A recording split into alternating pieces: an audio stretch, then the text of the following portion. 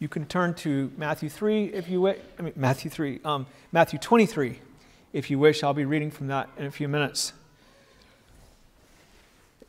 we're also, if you have a catechism, uh, we're looking at question um, 55 today.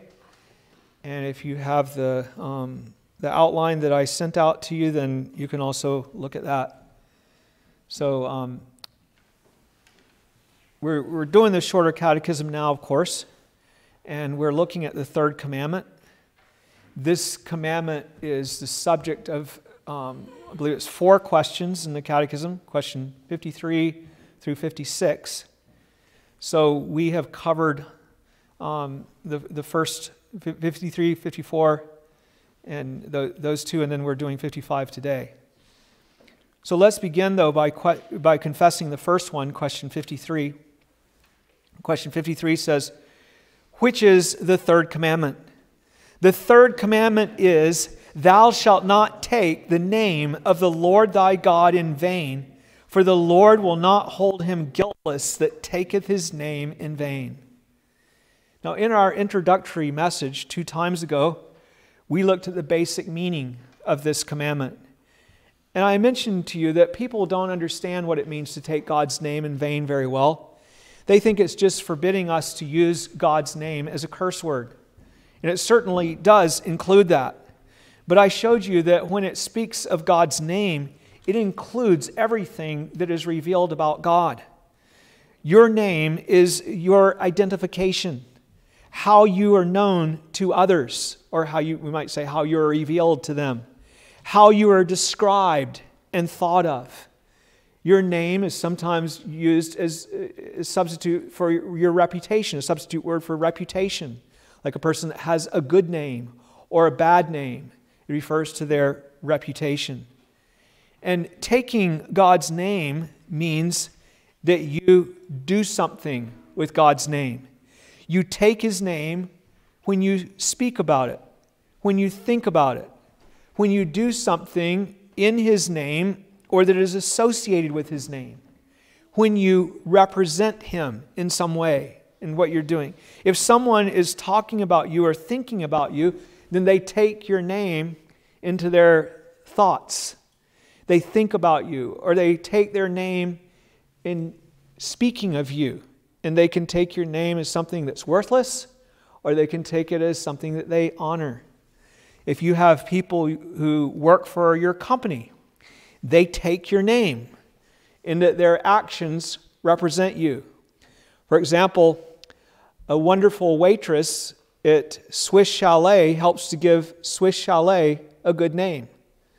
If you go there and you have terrible waitresses five times in a row, then they get a bad name, and you tell people, oh, I wouldn't go there. Uh, they get the orders wrong and whatever. But you take God's name in vain, when you do not treat his name then as honorable, when you speak of him in a way that's unworthy of his glory, when you think of him as unimportant, worthless, or a do nothing God, like Baal, or when you do something that is unworthy of his name, like the bad waitress at uh, Swiss Chalet takes their name in vain by her bad service. She abuses the name. So we can abuse God's name as Christians. So you see, this, this is a very encompassing concept here in the third commandment. It, it includes so much. Last week, we took up question 54, and this one talks about what's required in the third commandment. And let me just say something to you again to remind you where we have things that are required and things that are forbidden on every single commandment. You say, well, it just, it just has something forbidden. It says, don't take God's name in vain. Well, yes, it does. It's forbidden, but there's an implication because these are summary commandments, they come from God. And we like to have like 500 rules all listed out. But the Hebrews don't do it that way. And God doesn't do it that way in the Word. He gives us these one commandment is stated negatively, but that doesn't mean it doesn't have a positive meaning and all kinds of applications that you could write lots and lots of other commandments under it. And so every time we have where something like this is forbidden, it has an opposite, a requirement as well. So, question 54, let's confess this together. It asks, What is required in the third commandment. The third commandment requireth the holy and reverent use of God's names, titles, attributes, ordinances, word, and works. So, in looking at this, we saw how that we ought to have the highest regard for God's name. Not just negatively, not to take it in vain, but also positively to highly regard it. We need to keep before us His majesty and glory so that when we think of Him, even when we think of Him or when we speak about Him, we do so with the utmost respect. We want to represent Him and to think of Him as He truly is, the high and holy one who inhabits eternity, whose glory fills all things, who has all authority in heaven and earth. This week, we're going to look at question 55, which has to do with the sins prohibited, forbidden in the third commandment. So let's confess question 55 together. Question 55 What is forbidden in the third commandment? The third commandment forbiddeth all profaning or abusing of anything whereby God maketh himself known. This shows us that we take God's name in vain when we profane it or abuse it. So let's talk about that. Profaning means that you treat something holy as if it were ordinary. In other words, you act as if God's name and all that is revealed about him is just like any common name, just, just ordinary, which means that you act as if God is just an ordinary being rather than God. And you abuse his name when you bring harm to it in some way, when you damage his reputation. You know what it is to have your name abused. For example, if someone says that you are untrustworthy, then they're attacking your name, aren't they?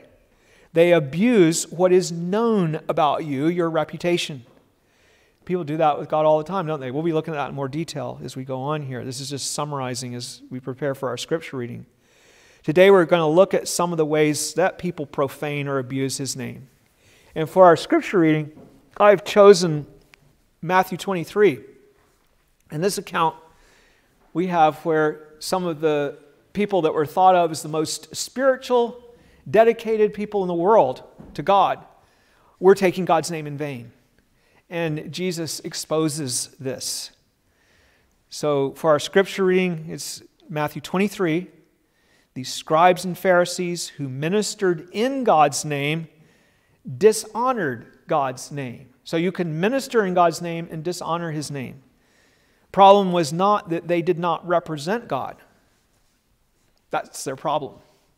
It would have been better if they had been representing someone else other than God. The very fact that they were representing God wrongly is what made it all the more offensive. So listen now as I read to you from God's holy word. This is Matthew 23, and I'll read the first 36 verses. Then Jesus spoke to the multitudes and to the disciples, saying, The scribes and the Pharisees sit in Moses' seat. Therefore, whatever they tell you to observe, that observe and do. But do not do according to their works, for they say and do not do. For they bind heavy burdens hard to bear, and they lay them on men's shoulders, but they themselves will not move them with one of their fingers. But all their works they do to be seen by men. They make their phylacteries broad and enlarge the borders of their garments. They love the best feasts, the best places at feasts, the best seats in the synagogues, greetings in the marketplace, and to be called by men, Rabbi, Rabbi.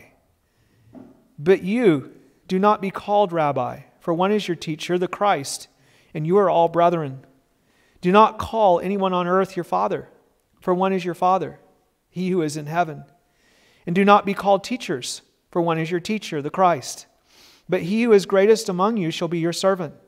And whoever exalts himself will be humbled, and he who humbles himself will be exalted.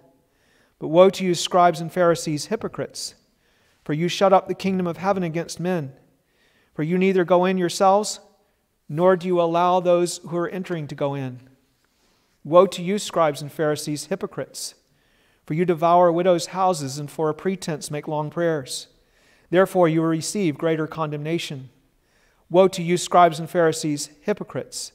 For you travel land and sea to win one proselyte, and when he is won, you make him twice as much a son of hell as yourselves. Woe to you, blind guides, who say, Whoever swears by the temple, it is nothing, but whoever swears by the gold of the temple, he is obliged to perform it. Fools and blind, for which is greater, the gold or the temple that sanctifies the gold? And whoever swears by the altar, it is nothing, and whoever swears by the gift that is on it, he is obliged to perform it. Fools and blind, for which is greater, the gift or the altar that sanctifies the gifts?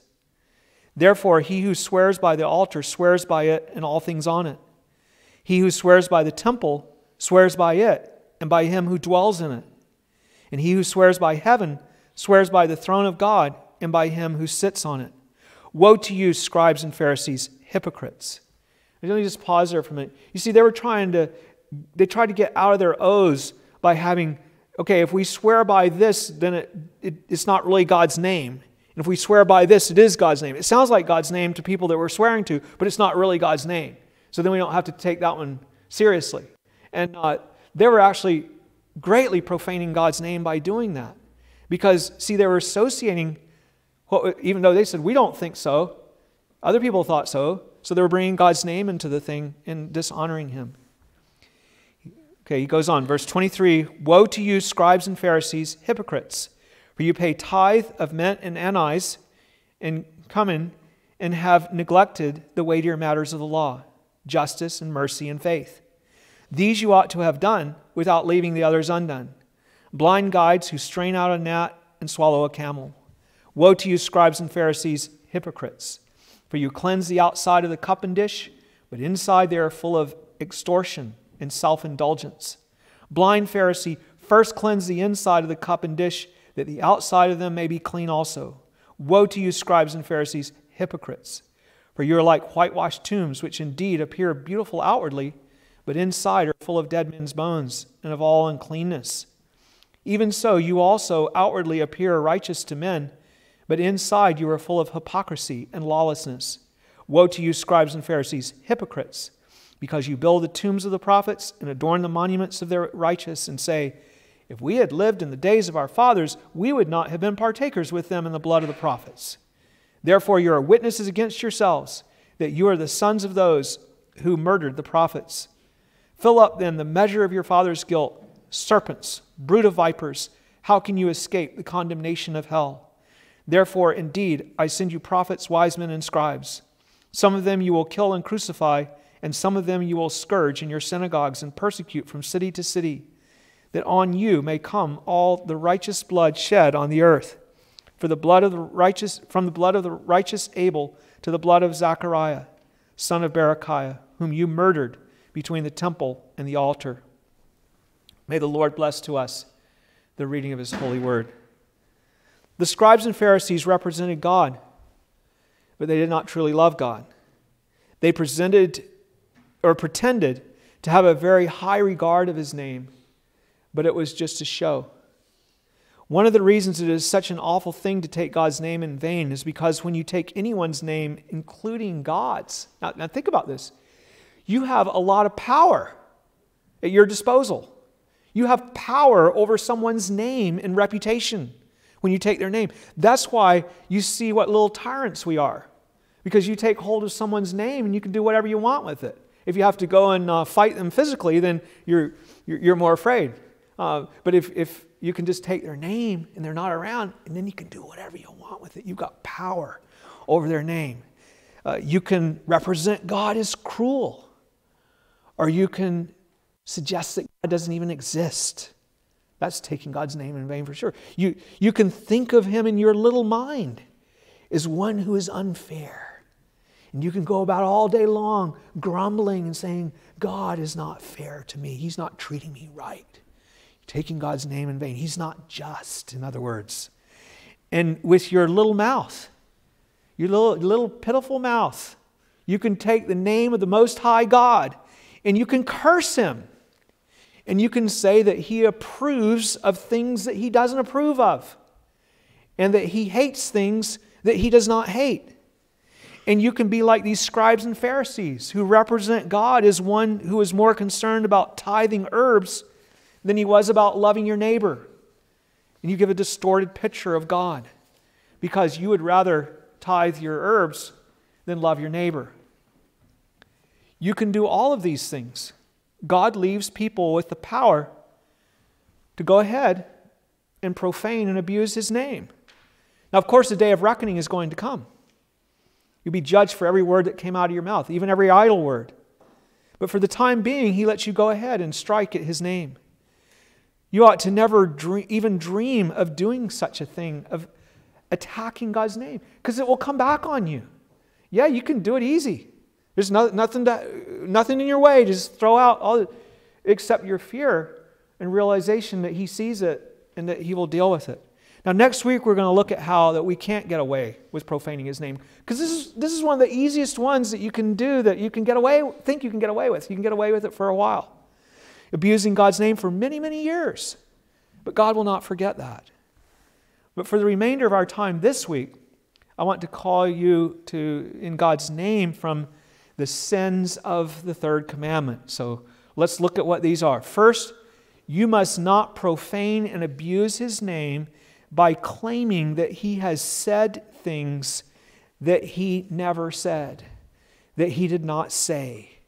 Now, surely you all know what this is like to have someone accuse you of saying something that you didn't even say and that you wouldn't even say. You've probably had that. Well, you said, and it's like, I, I never even thought that. You know, how did you get that? It gives people a false impression about you and it damages your name. Perhaps you have had this happen.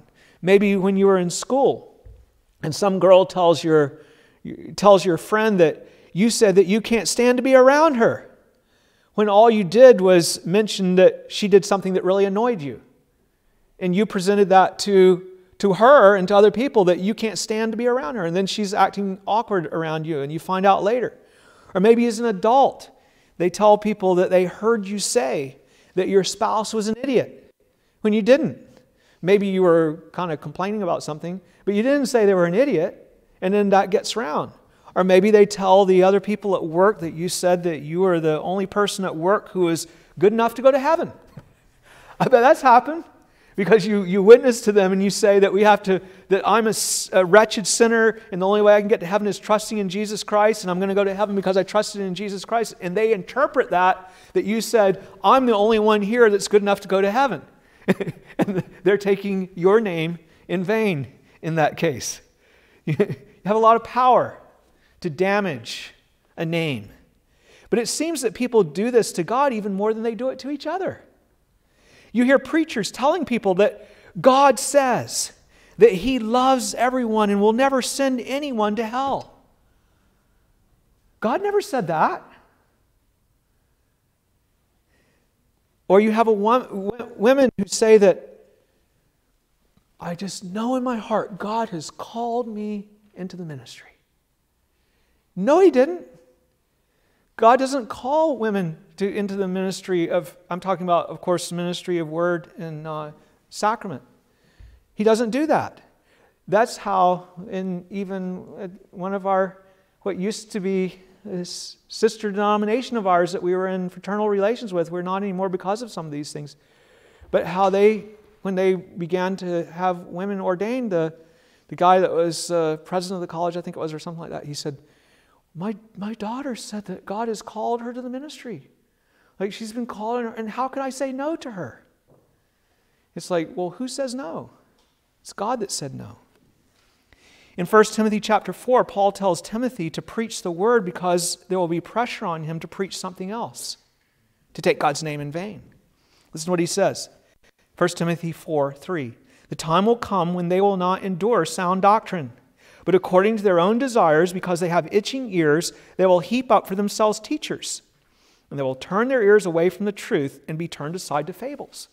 So then they have, but everybody says whatever heresy it is. All the preachers say whatever the heresy is. And so then there's pressure on the one who's still speaking the truth to conform to the others. Jeremiah had a terrible time about that when he was a prophet. I mean, I don't mean that he failed at it, but he had pressure as a true prophet of God, he was telling the people what God had said, revealed to him as a prophet, that the Lord was going to destroy Jerusalem and carry them away into exile. But there were all these other prophets, lots of other prophets, and they claimed to be prophets of the Lord.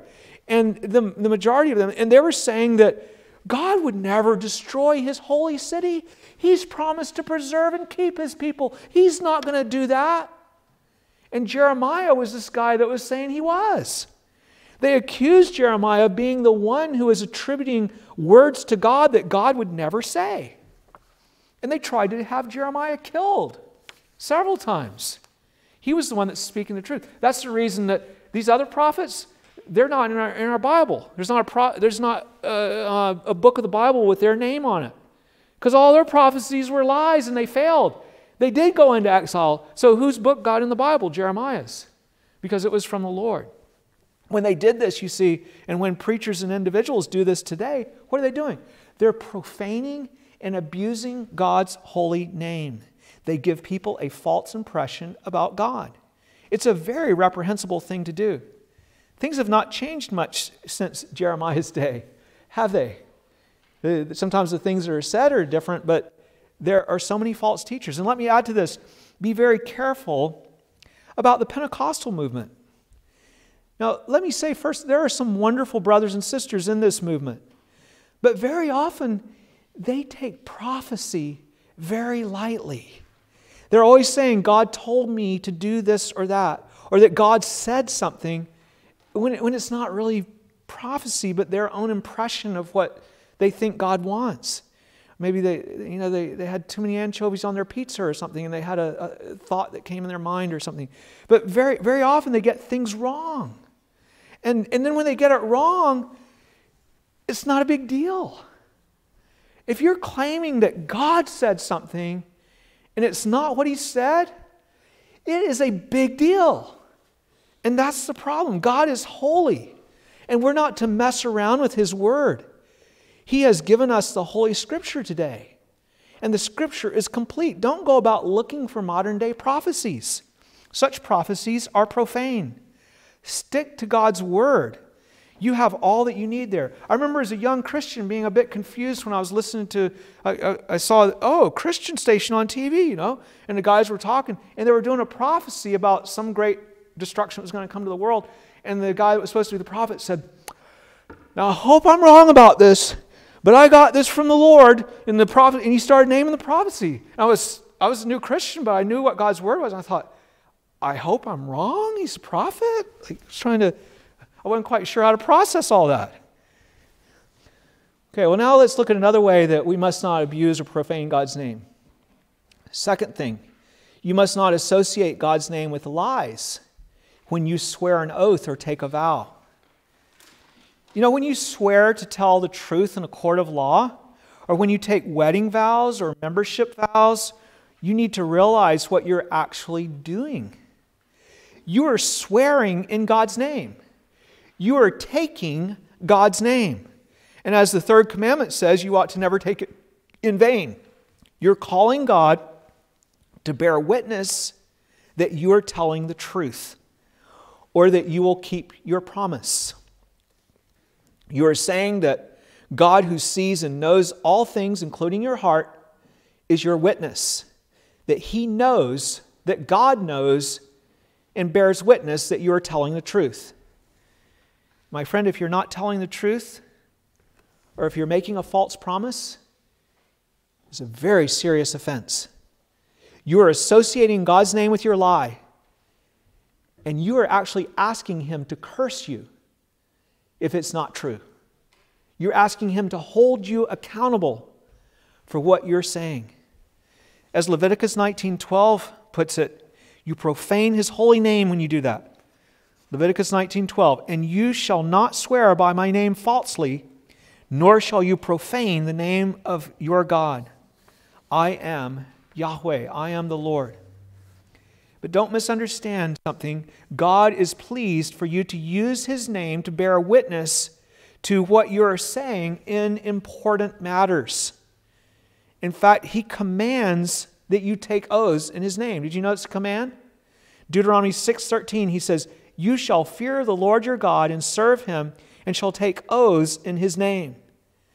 Now, you think about that. If you don't take any oaths in God's name, you're suggesting that there's no one who can witness to what you're saying that has authority to do that. So it's, it's actually an offense if in important things you don't take a, an oath in God's name or, or vow. He has a couple of reasons here for commanding this. First, because he does not want you to swear in anyone else's name. To do so is to attribute to that one in whose name you swear what belongs only to God. Only God can see your heart. Only He can affirm that you're telling the truth. So if you swear by the king, or if you swear by your mother's grave, the king and your dead mother are neither one able to know what's in your heart and to bear witness to that. Only God can do that. Second, he calls you to swear by his name because he considers it to be necessary for us to make our words certain in serious matters. And I guess I've already really said that. We need a way to make it clear in this careless world where we say things that we really don't mean. We have to make it clear when it is some very important matter that we're careful, careful about what we're saying and that we're asking God to hold us to the truth of it. We're solemnly telling the truth before God. Nevertheless, while we're commanded to take oaths in His name, Jesus tells us to be very careful about flippantly using vows, carelessly making vows in everyday affairs. For example, it profanes God's name for you to swear. Um, maybe you're, you're a tradesman, you know, and you're working, you're, you're scheduled to work for someone, you didn't show up, and uh, they, they call you, and, oh, yeah, sorry, I got tied up and then I'll, I'll come. Uh, I'll come tomorrow, and then you don't come tomorrow, and then when they call again, you say, you know, I, I swear, I swear this time I'm going to come. Like, that's profaning God's name. You're using His name in vain. Um, God's name is sacred. It's not to be used in common things like that. Jesus says to let your yes be yes and your no, no in everyday affairs. The reason that you have to say that in that situation, or you feel like you have to, is because you are unreliable in your everyday words. So now you have to embellish it. Let's, let's put a little vow on it here. Let's put a little oath on it. That kind, the, the kind of occasions in which you ought to swear by God include marriage. If you're going to have sexual relations with someone, God wants you to swear that you will be committed to love that person for life before Him and before witnesses. Malachi and Proverbs both refer to marriage as a covenant of companionship that you make before God. Covenants require vows before God. And if you're accusing another member of the human race in a court of law, or if you're defending them or defending yourself, it is proper for you to take God as your witness that you are telling the truth. Even Jesus did this when he was before the Jewish Supreme Court, his trial. As recorded in Matthew 26, 62 through 64, the high priest arose and said to him, Do you answer nothing? Because they were throwing out all these crazy accusations and Jesus didn't even answer. He says, What is it these men testify against you? But Jesus kept silent. And the high priest answered and said to him, I put you under oath by the living God Tell us if you are the Christ, the Son of God. And then Jesus answered. He did it when he was put under oath. He answered. Verse 64 Jesus said to him, It is as you said.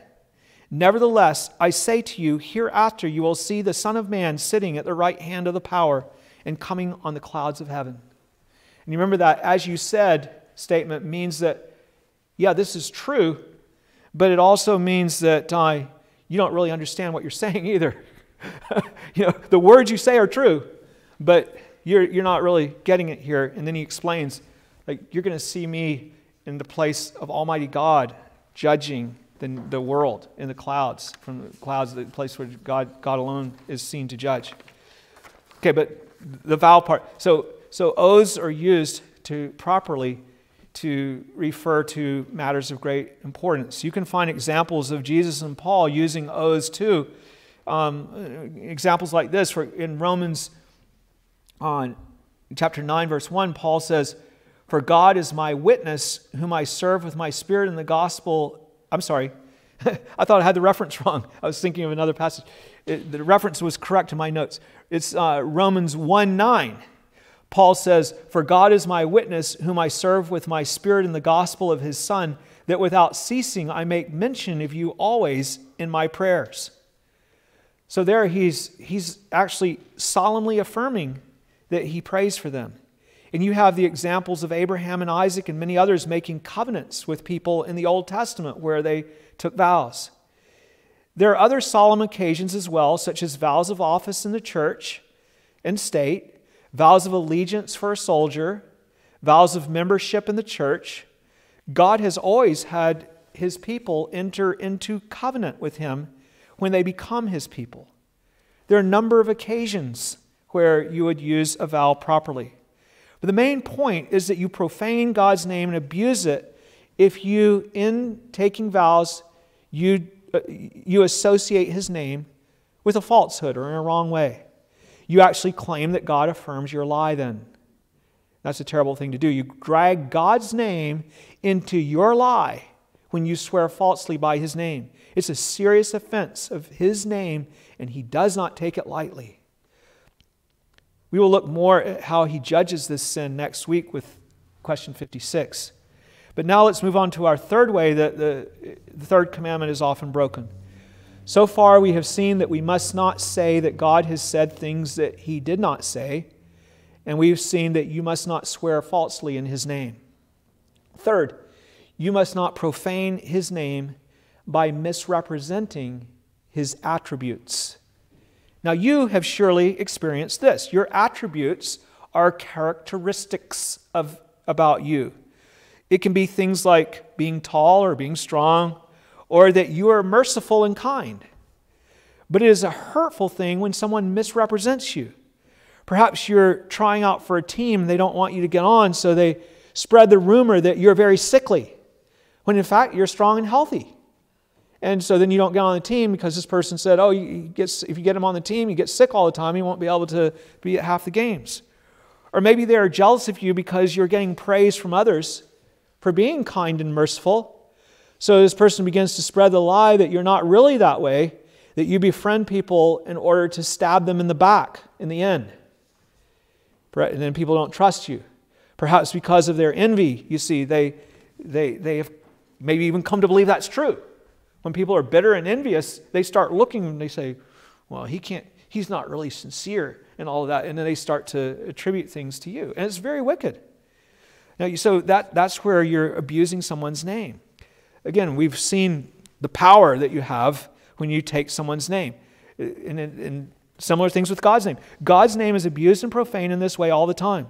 God is infinite, eternal, and unchangeable in his being. But there are people who say he doesn't exist. That's the ultimate denial of his attribute, is the only one who exists in himself. Everything else is created. He is the only one who is uncreated. False religions also distort God's attributes. Some of them take, make God out to be impersonal. He's just a force, just a power that you can tap into let's go and get in touch with the spiritual strength, you know, and uh, like that, that kind of, you know, new age thing. Or, or others that, that God is cruel and harsh. Some, some false religions have that of God. That he's manipulative and unkind. A God who will not forgive, maybe. I, I remember uh, talking to a fellow who was a Muslim and he had, he had spoken, you know, so hard against adultery and he knew how wrong it was. I'd been ministering to him with the gospel, and this guy fell into adultery. And he didn't know how Allah could ever forgive him because adultery was a big thing. You could, like, kind of sleep around with unmarried women, but if you had adultery with a, a woman that was married, it was a huge offense, and he, there was no way of forgiveness. So it, it misrepresented God because He is a forgiving God. See, it can go all different directions. There are false religions that deny that God is truly holy. You know, really, that's the real difference between true religion, the one true religion, and all false religions. None of the false religions take our sin seriously before Him as something that He absolutely cannot accept in His presence. You say, well, you just said that the uh, Islam, you know, that they, they he was afraid that there wouldn't be any forgiveness. Yeah, but this guy was saying that he was acceptable to God apart from the atoning sacrifice of Jesus Christ if he hadn't committed adultery, or maybe acceptable. They don't know for sure how what, is going to do with. It.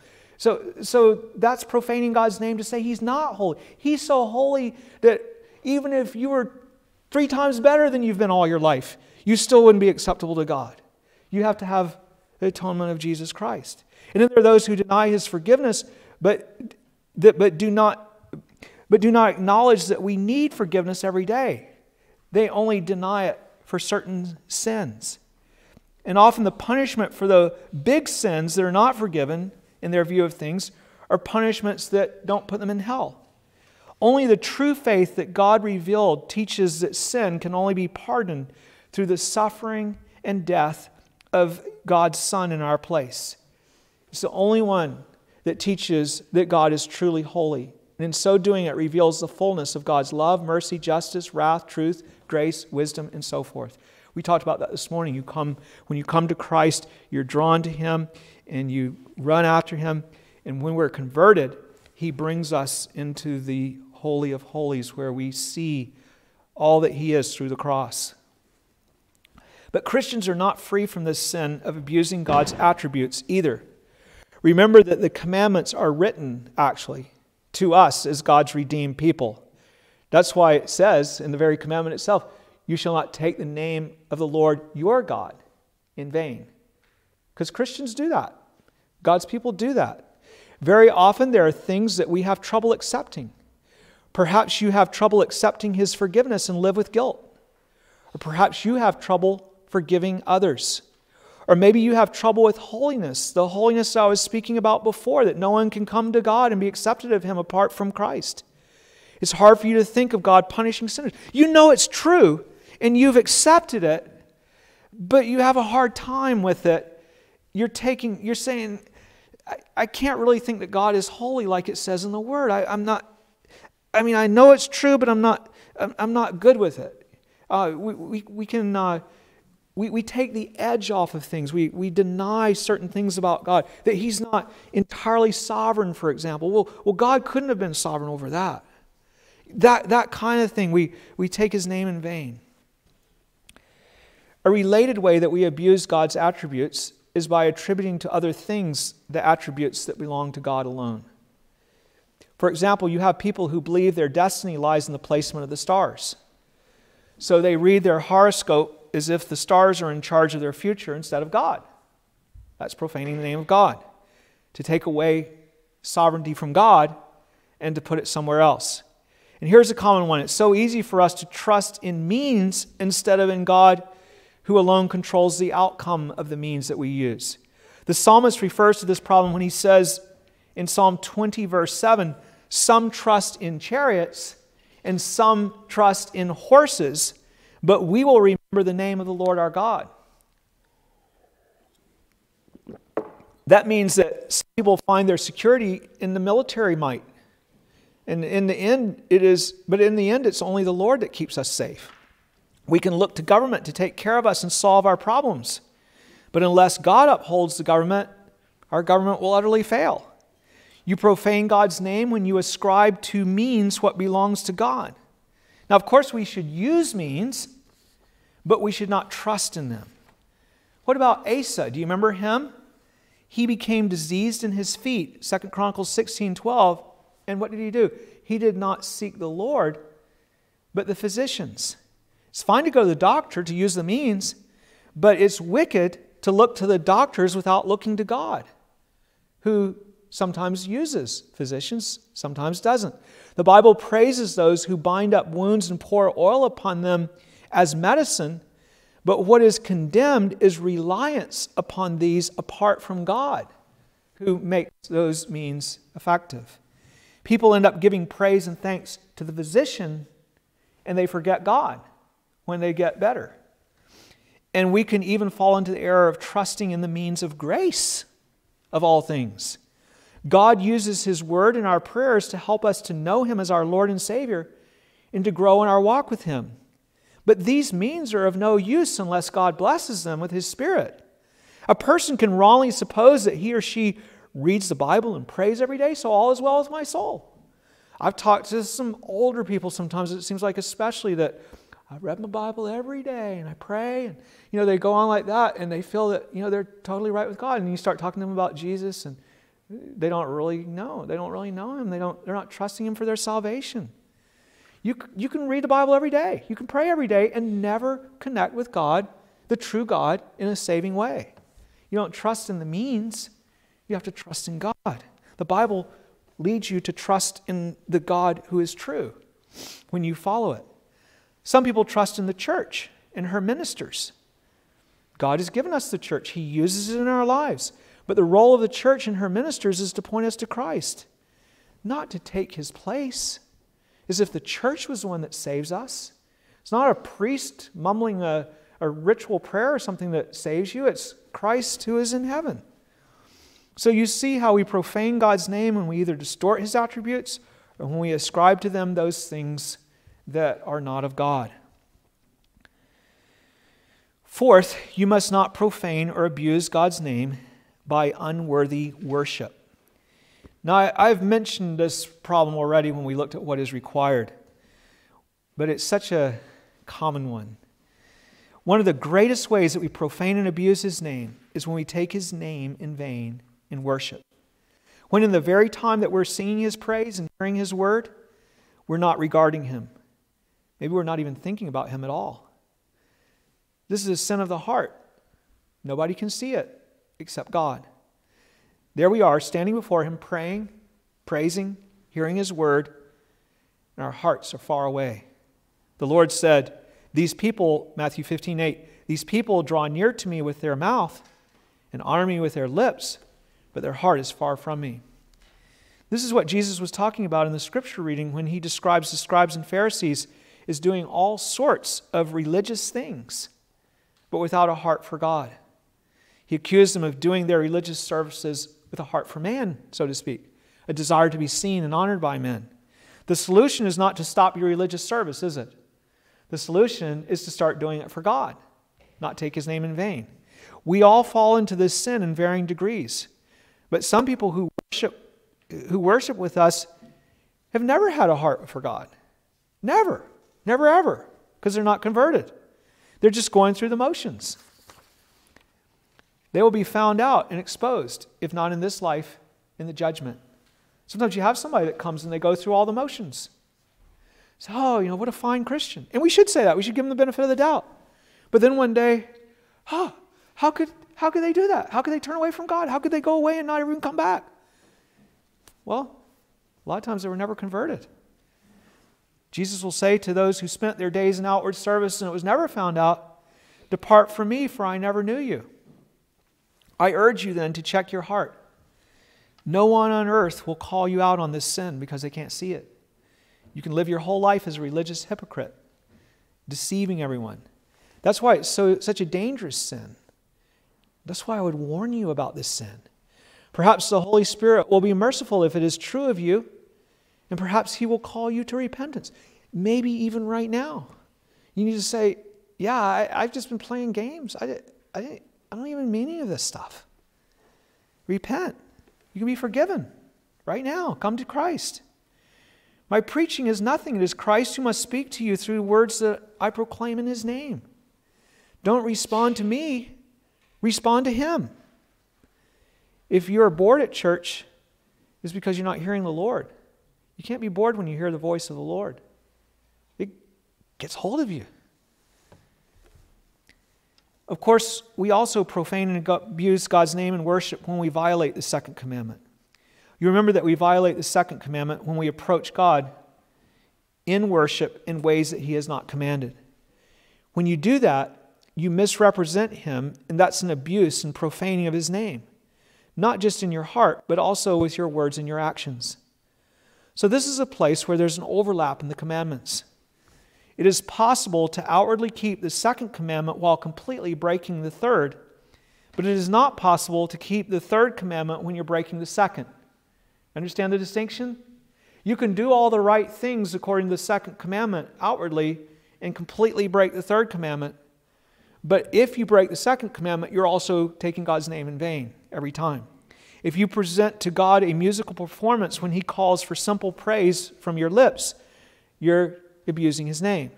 If you bow to an image of Jesus or Mary, no matter how sincere you may be, you're abusing God's holy name, who commands us not to worship by images. For more about this, you can review the second commandment, but you get the idea. Now let's wrap this up. I hope that after today's sermon, you not only have a clear idea of what the third commandment prohibits, that you also are moved to turn from your sins against the third commandment.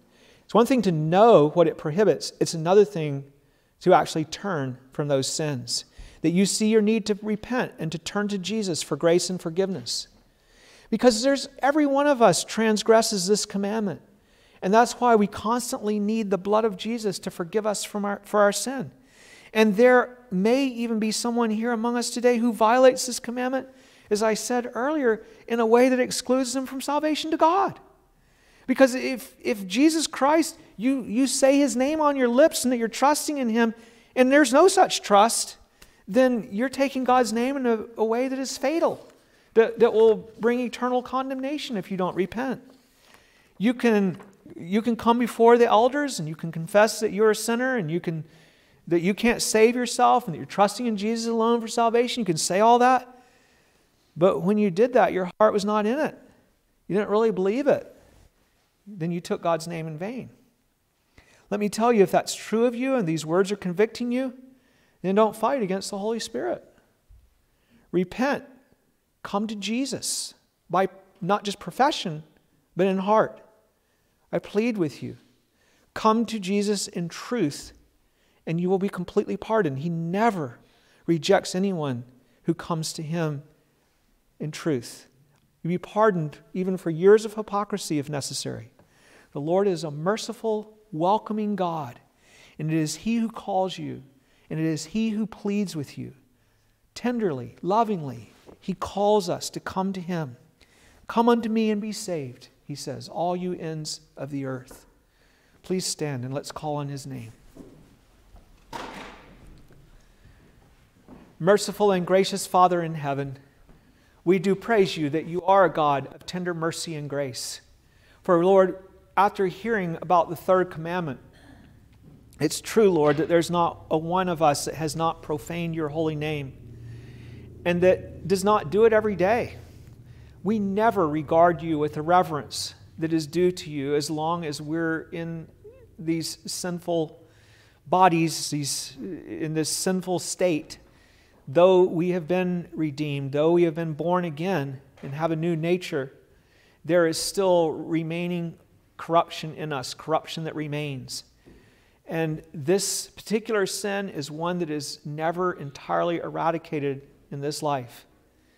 Father, we pray then that you would help us to be humble and that we would realize the reason we pray and ask Jesus to, uh, to, to be with us when we, that we come in his name when we pray and when we worship you is because if we're not in his name, we can't even come before you because we're unfit.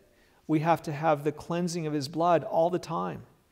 As it says in 1 John that if we walk in the light as he is in the light, then the blood of Jesus, his son, cleanses us from all sin.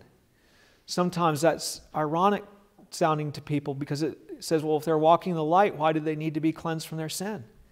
But that's the very thing. When we walk in the light, then we know that we come short and we know that we need to be cleansed. And it's those who walk in the light who know they need to be cleansed and who come to Jesus for cleansing. So we pray, Lord, we pray that we would, we would be clear about that. It's not that we're in some state where we don't break this commandment anymore. It's rather that we're in a state where we're, we're actually not taking your name in vain because we, under, we, we see that we come short. And therefore, we call on your name in truth. Oh, Father, we pray that you would open the eyes of, of people all around us, Lord, for there's such a problem with this. And there's such a need, Lord, for, for you to, to open eyes of the blind so that they will walk in the light and will have the cleansing that comes when they're not profaning your name but walking in the light. And Father, we pray for, for our worship, Lord, that, that truly, Lord, you would help us. I know how how terribly I take your name in vain, how often that, that I'm just not regarding you, even when we're here at church. Oh, Father, have mercy. Deliver us, Lord. Help us to, to become more holy and to become more what you've called us to be. Thank you so much for our Lord Jesus Christ, for his forgiving grace.